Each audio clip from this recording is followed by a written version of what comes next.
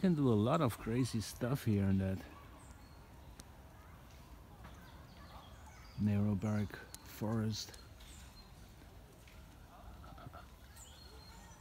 Climbing and you know you see that that steel wires they're all strung up in a tree.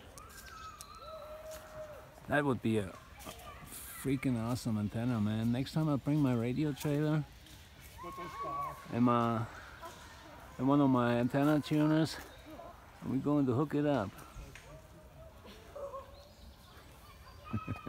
Let's see how this goes. You know why, YFUG is crazy enough to do that. Oh yes, I am. Uh, but I think the owners who are running that place, um, they're not looking at this very happily. happily. but I don't give a Florida, you know what I'm saying?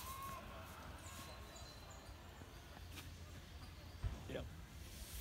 Okay, folks, I'll take I'll take uh, the next the next step ahead, meaning keep on riding, enjoying Saturday afternoon.